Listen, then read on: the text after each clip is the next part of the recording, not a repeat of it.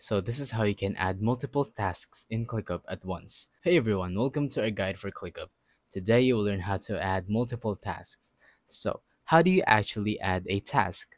Well, you can go ahead and go into one of your lists. I'm just going to go ahead and make a new list by tapping that plus button and then I'm just going to type 100 as a list name. So let's open this up and then as you can see it says add task on this side of the screen. So I just simply add a task and put whatever name. I'm going to put one as a name. You can organize it however you want to and there is our task. So you can't actually add multiple tasks at once. You can just add them one by one. But if you want to import many tasks from a different website, a different organizing website, that's easy. You can just go ahead and tap on your workspace up here, tap on settings, and then tap on import and export, tap on import.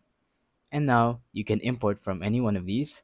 And if you have tasks on there, you can go ahead and import those tasks and then you can use them on ClickUp so you wouldn't have to redo the tasks over and over again. So that's pretty much it. Thank you for watching. Don't forget to leave a like, subscribe, and let us know in the comments if the tutorial worked or if you have any questions.